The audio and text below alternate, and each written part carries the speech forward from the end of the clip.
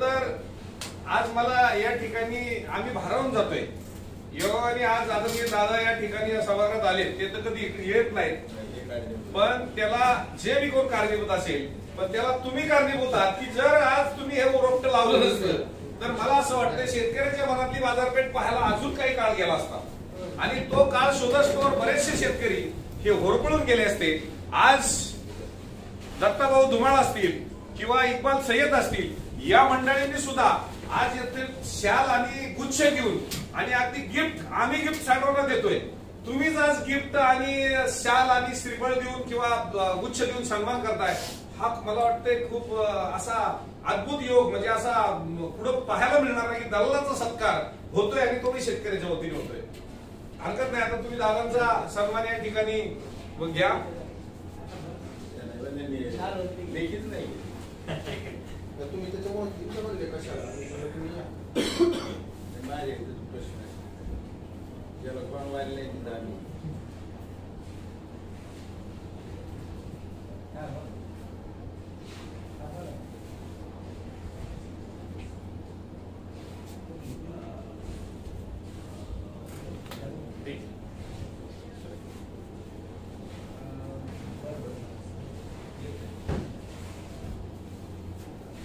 जरा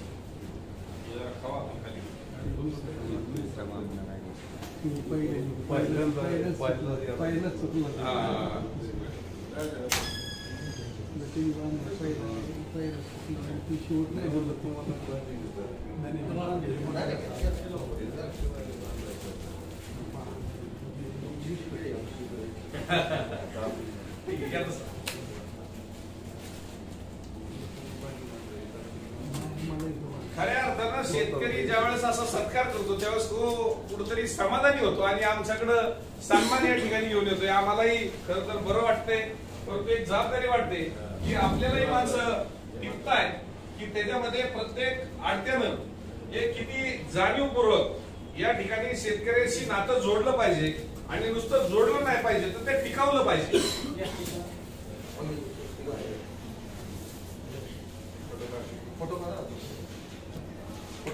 можно.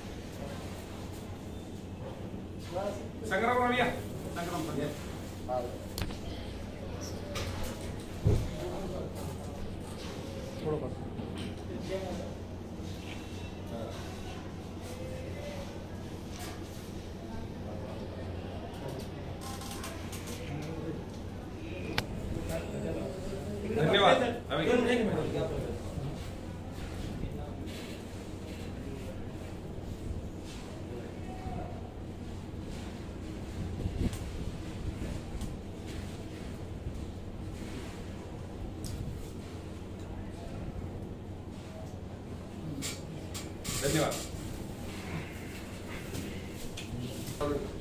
आज योग असा की दादांना भेटण्याचा योग आला. त्याच्यात योग असा इक्बाल भाईंचा वाढदिवस होता. योग असा माने साहेब तुम्ही इथं आला आणि सगळ्यात पहिला योग असा तुमच्या टोप्या कमी झाल्या आणि ज्या दिवशी टोप्या कमी होत्या आमची सारखी मुलं सगळे बसते त्या दिवशी त्यांनी जसं सांगितलं ही पिढी न पिढी बदलत जाईल. अं, तानाजी भाऊ तुम्ही कंटिन्यू म्हणताय. गेली सत्तेचाळीस वर्ष गेली सत्तेचाळीस वर्ष. आम्हाला तर असं वाटतंय तुम्हाला दिवस आठवू नये इतके दिवस तुमच्याकडून ती सेवा करतो. दादांनी मी आणि अं, दादांपाशी गेलो हसलो होतो. दादा एक शब्द म्हणले तिथं ते दोन तीन जण पपईवाले आले तुम्ही मला ओळखलं का? ते म्हणले नाही.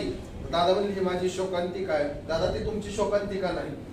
तुमचं म्हणजे तुम्हाला तुमच्या नावासाठी कोणाला तुम्हाला पाहिजे आवश्यकता नाही.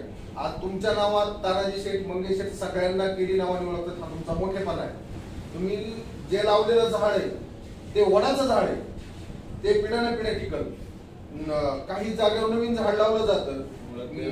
हा त्याला ते आमचं जसं डाळिंबात पिन होल येतंय तसं त्याला काहीतरी होल पडतंय ते बंद पडतंय. मला काय म्हणायचं लक्षात आलं का तुमच्या तसं तुमचं वडाचं झाड आहे ते पिढ्याना पिढ्या चाललं जाईल.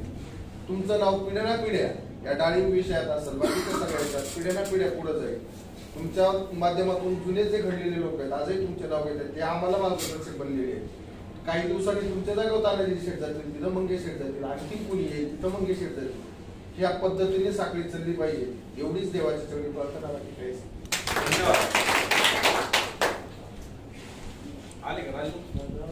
नाही.